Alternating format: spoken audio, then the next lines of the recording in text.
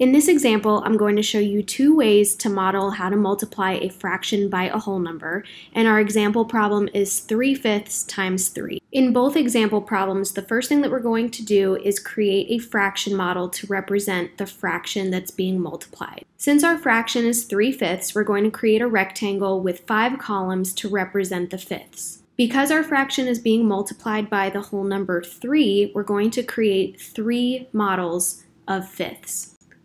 In the first strategy, we're going to represent 3 fifths three times by shading in 3 fifths of the first model with one of the colors. And then you can either grab the same color or a different color and shade in 3 fifths of the second model. So now we have 3 fifths two times.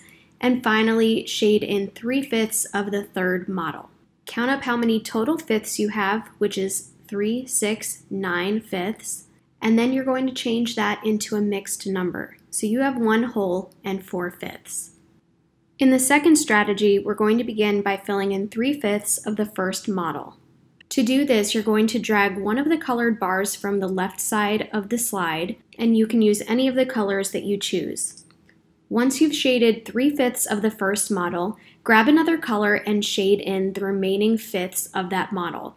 Because that's 2 fifths, we need to fill in one fifth of the second model. Now we have 3 fifths two times. Grab a third color and we're going to shade in the next 3 fifths of the second model. Now we've represented 3 fifths three different times, so we're going to look at our final product and you can see that there are 9 fifths shaded in total, or you can see it as one whole model shaded in and 4 fifths of the second model. Of the two strategies that I just showed you, I prefer to use the second model.